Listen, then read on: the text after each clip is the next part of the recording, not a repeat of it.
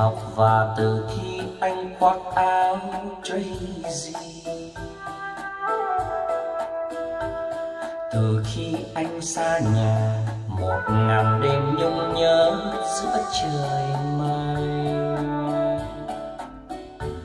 ngày trăng đêm duy hành và thường khi dần bước giữa hoang vu.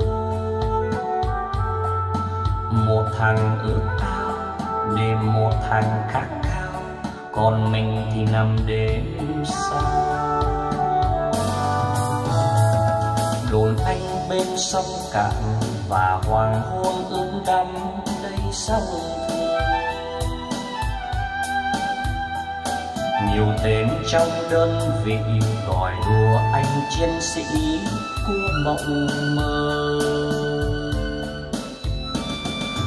Khi hai ba thằng chiều chiều ra vờ vắng ngắm mong lương.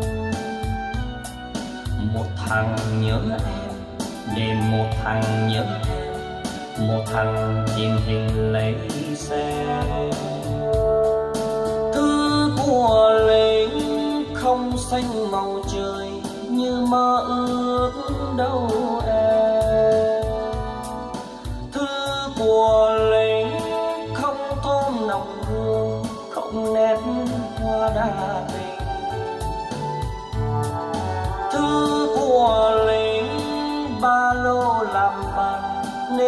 Nên không ngày nhưng thư của lính ghi giữa rừng cây khi nhớ em thầm đây chiều hôm qua thăm làng, tiểu đôi anh ra đứng gác ven danh. Một cô đi trên đường đẹp tựa như em khóc lúc giận anh. Để cho anh nghe thèm đường chiều sương người sáng áo em xanh. Thèm một nét một lần về phép và mình lại có đâu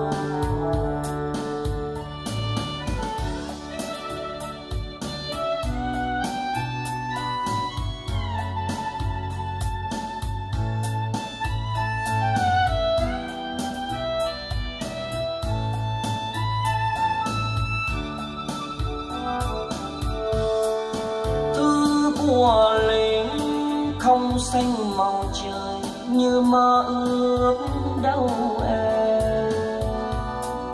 Thư của lính không thôn nồng hương không nét hoa đa tình. Thư của lính ba lô làm vàng, nên nét chữ không ngày nhưng thư của lính ghi giữa rừng cây khi nhớ em tận đây. Chiều hôm qua thăm làng đều đôi anh ra đứng gác ven danh một cô đi trên đường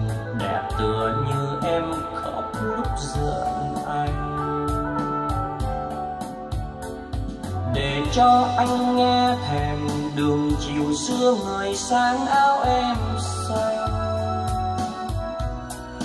thèm một nét một lần về phép, và mình thì lại có đôi. Để cho anh nghe thèm đường chiều xưa người sáng áo em say thèm một nét một lần về phép.